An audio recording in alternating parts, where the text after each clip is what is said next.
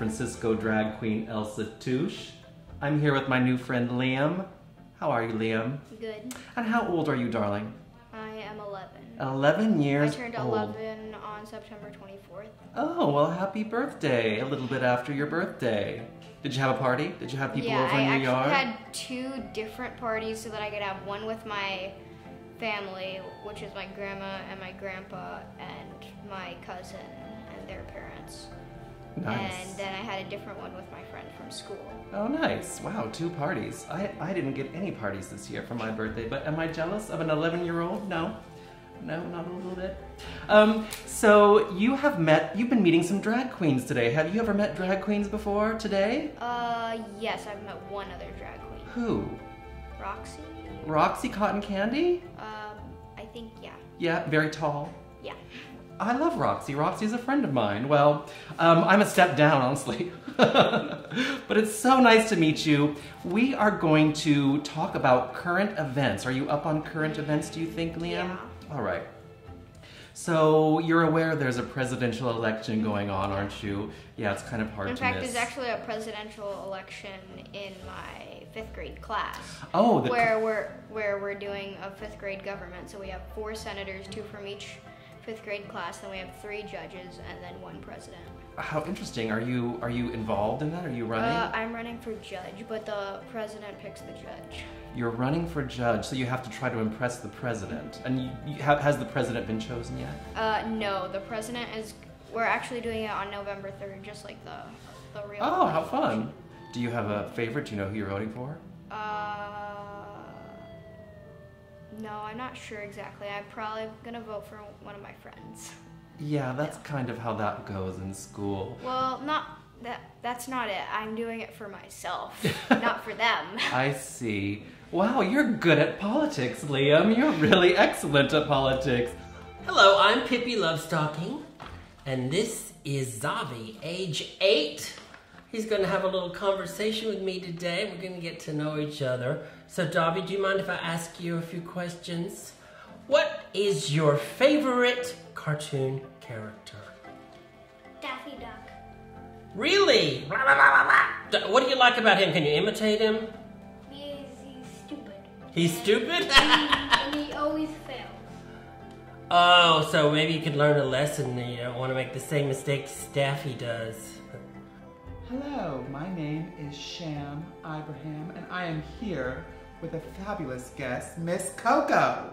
Hello. How are you, Coco? I'm doing good. So, how old are you, Coco? Um, I'm nine years old. Nine years old. Okay, well, I'm about 10 times that age, so we've got a little bit of difference between us. Uh, you know, Coco, I've got some questions for you. Yes? Is it okay to ask you a couple questions? First, I need to ask you a question. You want to ask me a question? Go for it. I'm an open book, whatever you'd like to know. Well, it's more of a joke. A joke. Okay. What do you call a zombie at your front door? A zombie at my front door. I call the police when that happens. What should I call it? A dead ringer. A dead ringer. Uh, I heard you were 48 years old. No, seven. You're seven years old. What a marvelous age. Do you know how old you have to be to be President of the United States? No. 35. Can you imagine? 35 years old. Do you think that um, grown ups are doing a good job of running the country? Um, some are. Some are. Any names? No. No, okay. Do you think that kids in general would do better or worse than grown ups in general are doing right now? I don't know. You don't know? No. What about you? If you were president, what do you think um, you would like to do? What would you change first? Um, I would change the segregation. You would end that. Good. There's a lot of problems that have uh, that we have because of the effects of long-term segregation. It's really bad. Have you been to any of the um, uh, protests against racial injustice? You have one. Yeah. That's wonderful. It's a big planet we live in. There's all kinds of continents and things. Have you ever thought about where you would like to visit the most? If you can go anywhere in the world The North Pole, or Australia? Where the blue penguins live, which they exist. I think, yeah. They The blue penguins? Australia. Yeah. I blue I don't know. I think they in might be. They live in Australia. Yep, blue penguins live in Australia. It's kind of warm in Australia, isn't it? Or, I mean, Yeah, it is, but yeah, because most penguins, I think, live in the snow and Yeah, ice. but the but blue ones don't. the blue ones uh, like hot weather, huh? Do you think that? Do you know? Okay, now, do you know where San Francisco is, like in terms of the world? Like, what country is it in? I don't know. You don't know. Well, Billy, I'm going to teach you today that you live in a country called America. Can you say America? America.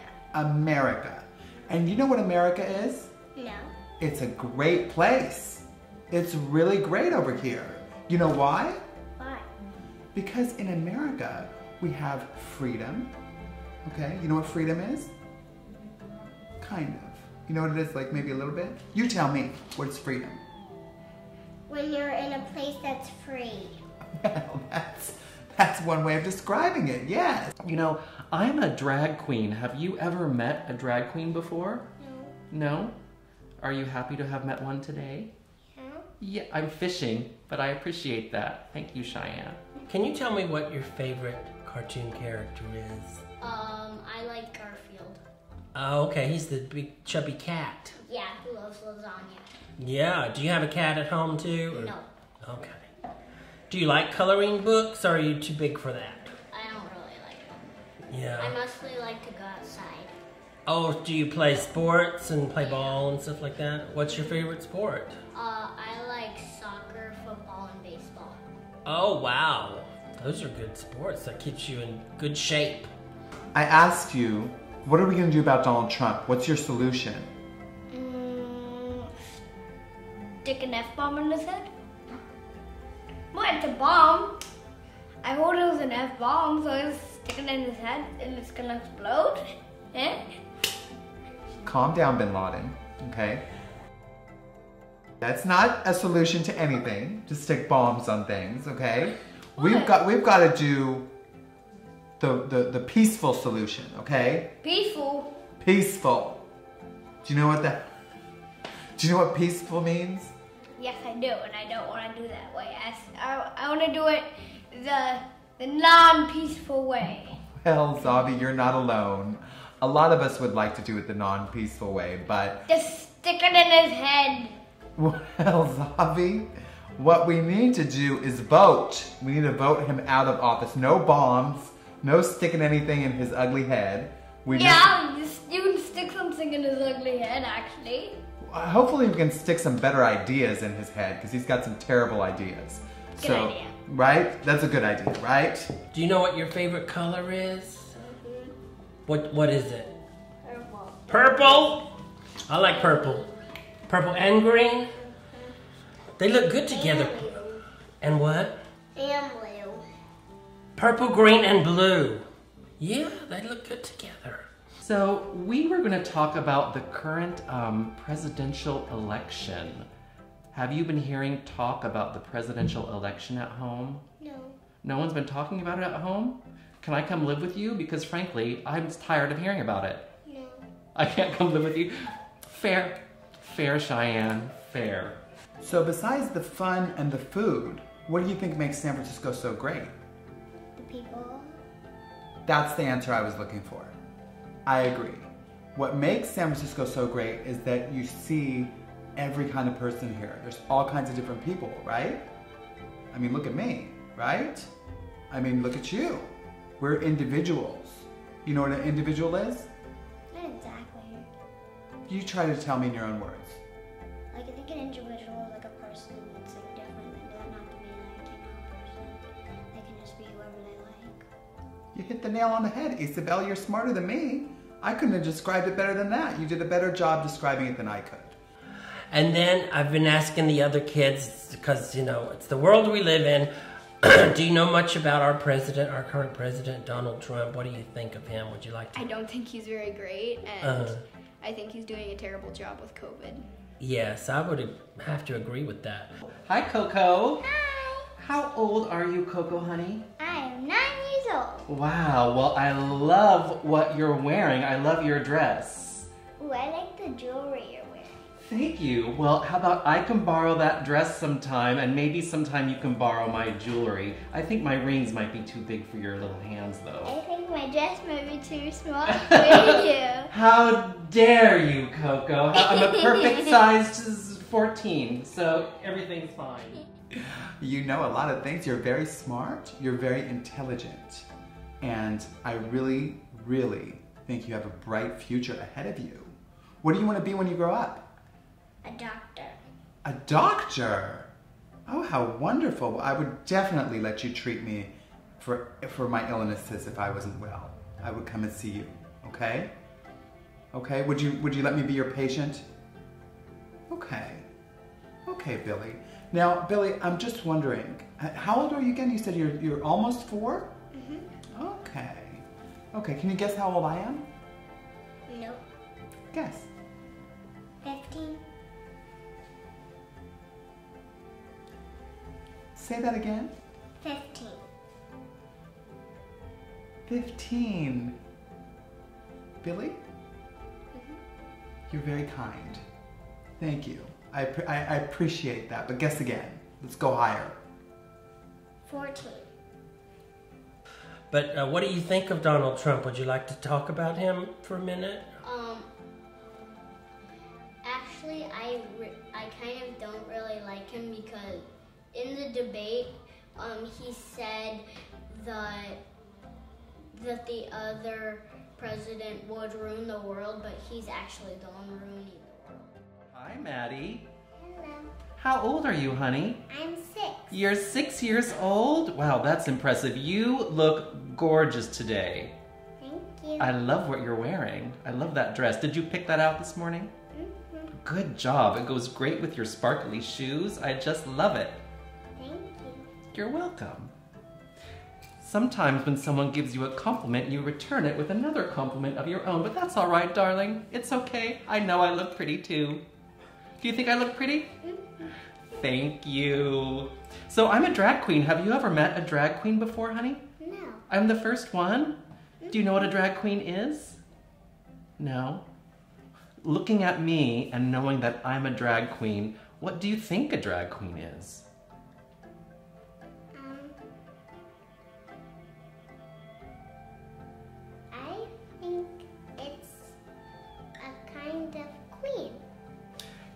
Exactly right. I am a kind of queen, a very specific kind. Well, I am very honored, Mandy, to be the first drag queen that you've ever met. You'll remember this day forever, or maybe you won't. I don't know. I don't know, darling. Um, so I have some questions about current events, so things that are in the news right now. Do you want to answer some questions about things in the news? Do you know who the current president is of the United States?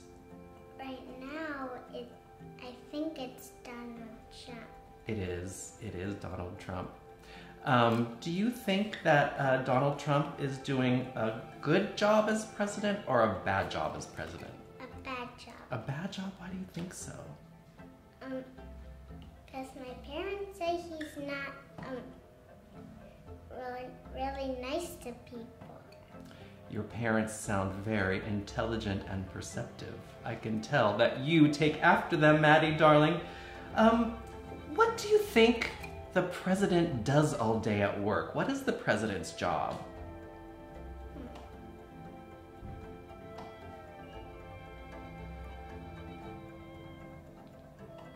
I don't know. It's mysterious to a lot of us, isn't it?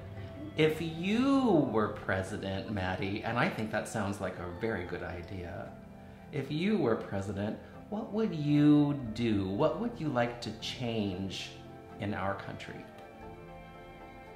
That everyone gets treated the same. That's a very good idea. I like that. I shall write that down. Treat everyone the same. Um, that's a good idea. So, grown ups right now, we're not doing a very good job of running our country. Do you think that we should put kids in charge of running the country?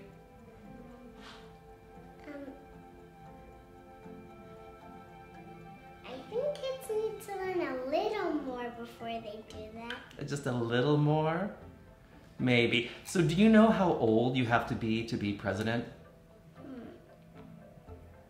I think 20 or 30. You're close. Yeah, you're close. Um, do you know how old our current president is? What would you guess?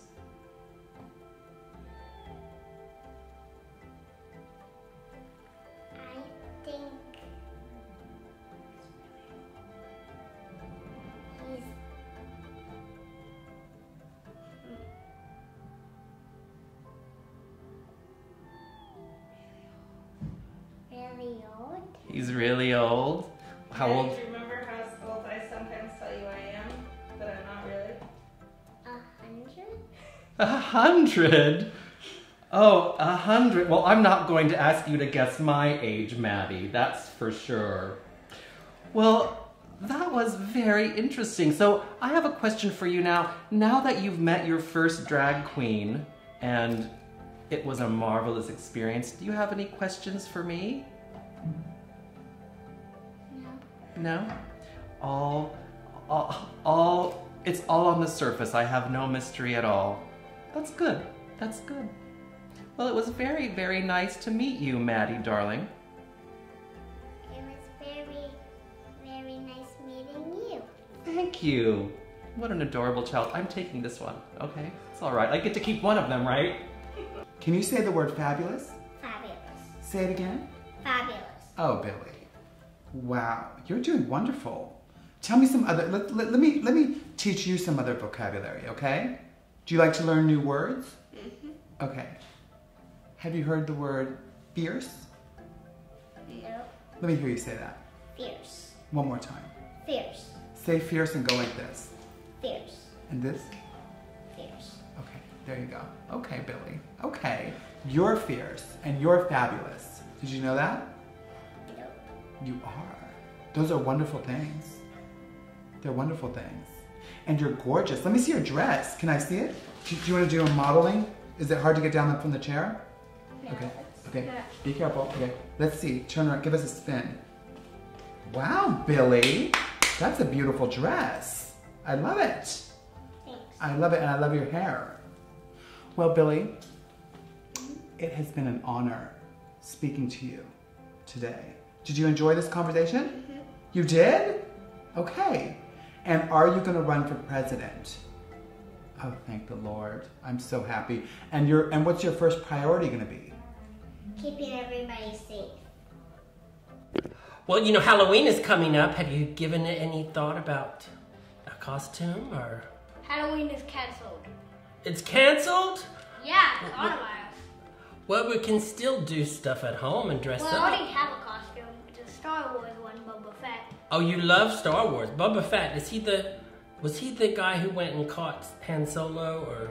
Yeah, the one in the carbonite. Oh, so he's a, a bounty one- hunter, I Yeah, think. he's a bounty hunter. Oh. He's the one who got eaten by a Sarlacc in the Ford movie.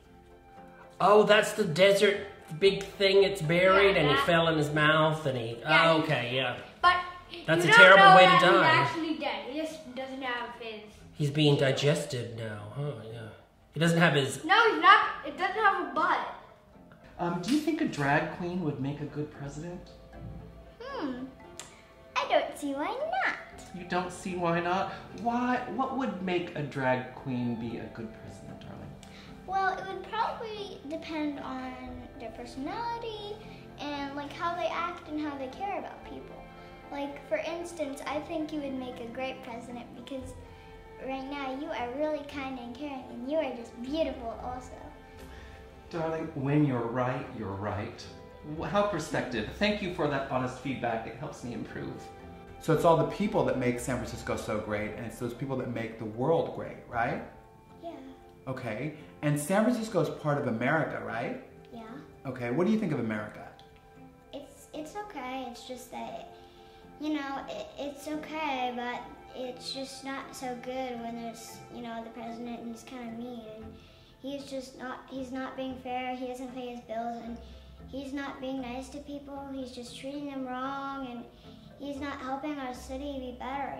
And he doesn't you know he doesn't he doesn't eat healthy and he doesn't like he doesn't really care about anybody except for himself. Isabel, you are very observant. Do you know what that means? Smart. I watch the news a lot. You watch the news. Yeah. Hell, honey, when I was your age, I watched cartoons. So I'm glad that you're watching the news. I watch cartoons and watch the news. I was only cartoons, so it's good that you're you're you're educating yourself. So I was gonna ask you, but it sounds like you already know about who Donald Trump is, right? Yeah. Okay. And what do you think of him? A bad person. I know he has good ins- uh, good inside him, but he just he just doesn't want to use it. I, don't, I just don't know why. He just doesn't like other people. And you should treat them fairly, because then if you treat if you treated people fairly, then people would treat him fairly, and you wouldn't have to just do all these bad things that are wrong. So you said you think he has good inside him? Yeah, but he just he just doesn't use it because he doesn't he just he just inside him, but on the outside he's just a mean person. But he just doesn't like to use it, I guess, and he, he doesn't know that he has it inside him, and he doesn't want to try. Isabel? Honey? I think we'd have to look so deep inside that man. I don't know how deep, I don't think the human body goes that deep to find that goodness. But you seem very intelligent and observant, as I said. So you must see something that maybe I don't see. How can, how, how can we get that good out of him, you think? Probably by telling him things that, like things that he's done wrong that he should realize that aren't good, and we should talk to him about like doing the right things, like being nice, treating people fairly.